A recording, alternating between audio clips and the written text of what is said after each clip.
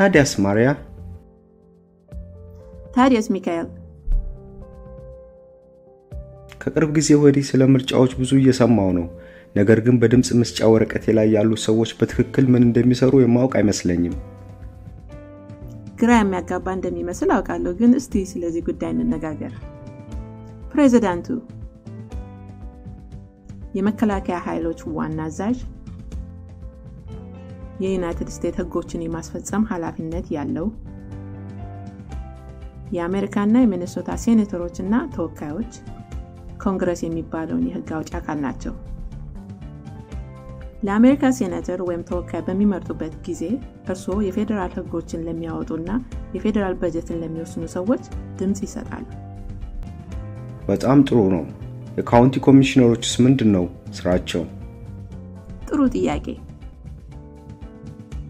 የኦልምስቴድ ካውንቲ ኮሚሽነሮች የኮሚሽነሮቹ ዋና ስራ ለሚቆጣጠሯቸው ከተሞች ከክልልና ከፌዴራል መንግስት የሚመደበውን ገንዘብ ማሰራጨት ነው። ገንዘቡ የሚውለው ለጤና እና ሰብአዊ አገልግሎቶች፣ አቅም ያገናዘበ ተመጣጣኝ ቤቶች፣ መናፈሻዎች እና መዝናኛዎች እና ሌሎች ፕሮግራሞችን ያጠቃልላል። የከተማው ምክር ቤትስ? የሮቸስተር ከተማ ምክር ቤት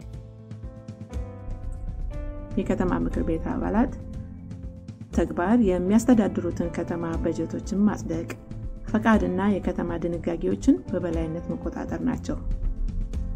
ምክር ቤቱ በበላይነት የሚቆጣጠር እና በማንኛውም ህግ ላይ የመጨረሻ ድምፅ ያለው አንድ የምክር ቤት ፕሬዚዳንት አለ። በሮቸስተር ከተማ ውስጥ አንድ የከተማ ምክር ቤት አባል የሚወክላቸው ስድስት ቀጠናዎች ወይም ወረዳዎች አሉ። ከንቲባውስ?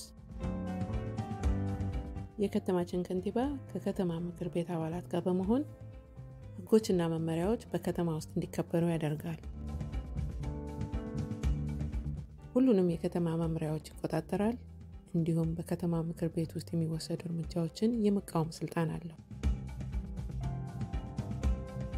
ልክ እንደ ማንኛውም የተመረጠ ባለስልጣን ስራው የማህበረሰቡን አባላት ማዳመጥና በዕለት ተዕለት ህይወታችን ላይ በጎ ተጽዕኖ የሚያሳደሩ ውሳኔዎችን መወሰን ነው።